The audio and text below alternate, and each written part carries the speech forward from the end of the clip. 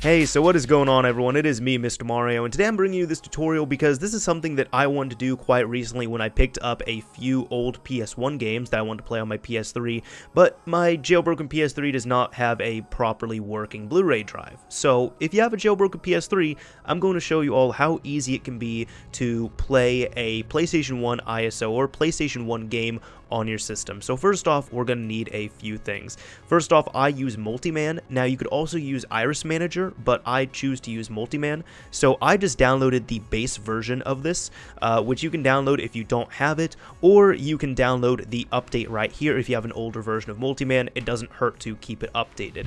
Uh, you can also use ImgBurn right here, where uh, this is going to be optional if you don't have a, or if you have an ISO on hand, you don't need this, but if you don't have an ISO on hand, uh, like what I'm going to do, I'm going to rip my own game. You can just go ahead, go here to download, and download it wherever you want to. Uh, finally, if you have a big flash drive or hard drive that you want to use for this, uh, I recommend using this tool called GUI Format or FAT32 Format, and you can actually easily format any drive you have to FAT32, which the PlayStation 3 is compatible with. So once you have all those set up, I'm going to show you all what you can do. First off, you will need a flash drive or anything like that, so I'm going to be using my flash drive right here, which is a 16 gig, well, rounded down 15 gig flash drive. I'm just going to call it PS3, do quick format right here, and as you can see, it formatted it easily enough. So once you do that, you can go ahead close out of there. That's only if you have a really big drive that you need to do. And then finally, right here, you want to make sure that you have your Multiman downloaded and you want to have your ISO right here. Now, if you have a game that you want to rip over, like myself, you can do two things. You could either one, just rip it directly over to your PS3 using Multiman, which I will not show you, but it's really easy to do, or two, you can rip it over using your computer, which I'm going to use for ImgBurn right here. So what I did is I loaded up ImgBurn and I'm just going to put in my disk, go to create image file from disk, and as you can see, it's going to load it up. That is my Xenogears right here, and I'm also going to show you all how to do it if you have multi-disc games. So first off, if you have a regular game, you can just go ahead save it whatever you want to. I recommend using bin format right here. You can use image if you want to, but ISO, I don't really recommend that for a PlayStation 1 game. Just keep it at bin. And then here's the thing, Xenogears is a two-disc game. So if you have multi-disc games, what you should do is keep them in one folder, and then in here you want to keep all of the discs in one folder uh, but I'm just going to call this one Xenogears D1 for disk 1 and hit save right there and then you can hit this button and it will start ripping it over. Alright so once those are all done being ripped this is what your folder structure should look like. So right here I have a folder for Xenogears and you want to go in and here's another thing. Now your bin and cue file for each disk that you rip you want to make sure that they are named exactly the same.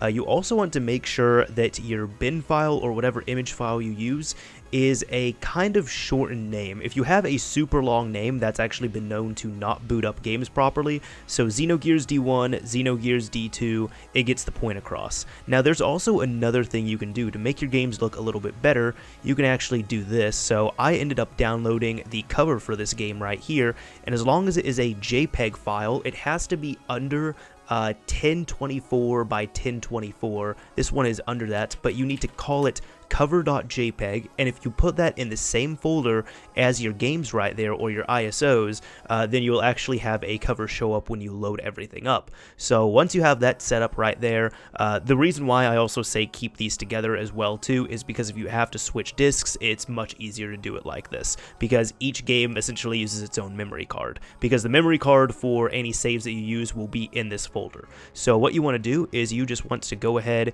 and copy your game right here, go over to your flash drive, and in the root of your flash drive, you need to make a folder called PSX Games.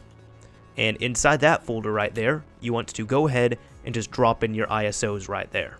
Now the last thing you want to do if you already have your PS3 jailbroken and you don't have Multiman or you need to update it, go ahead and take the file that I told you all to download if you needed it and go over to your flash drive and just in the root of your flash drive, paste the PKG file right there so you can go ahead and install your application. Once that is done being copied over, you can go ahead safely eject your drive and then pop it into your PS3.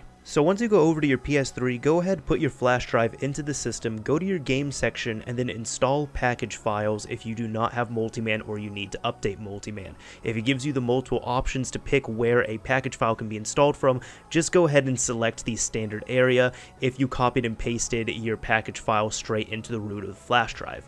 Now once that's done installing or copying or updating whatever you want to do, go ahead, go back and boot up Multiman. Now once you have Multiman up and running, go ahead go over to the right where the retro section is, and if you have everything set up according to the default folders, you should have your ISOs right there where you can go ahead and just select one normally. So as you can see, it was that easy. Essentially, all you need to do is take your games that are ISOs, copy them into a certain folder on your flash drive, install a certain program on your PS3, and that's it. You don't have to patch them, you don't have to repackage them in any sort of way. You can just essentially, as long as you have Multiman or Iris Manager, copy and paste them onto your flash drive and then play them as is, and most popular ISO formats are supported.